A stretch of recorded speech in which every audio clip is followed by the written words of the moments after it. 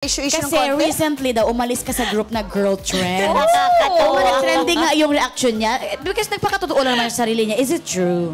Naman. yes. Ikaw ba nag-decide nun? Opo. Bakit?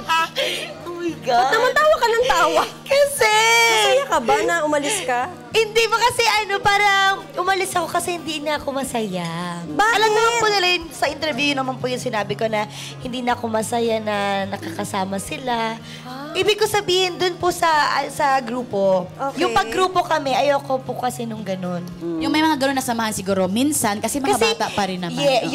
yun. Mga bata po kasi talaga. At saka nahihirapan din ako kasi parang ah, wala, yun nga, wala yung sisterly love, ganyan. Least I'm sure na matutunan din naman nila Wala ka bang mag-sister love doon. oo, wala ka bang naging best friend doon? Best friend? Wala po eh, pero may mga naging kaibigan naman ako. Pero sobrang, siguro tatlo, dalawa lang, ganyan. Siguro hindi ko rin nabigyan ng chance na makilala silang lahat.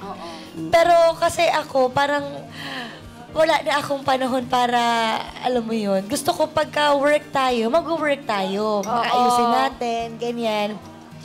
Hindi, ah, parang, basta gano'n.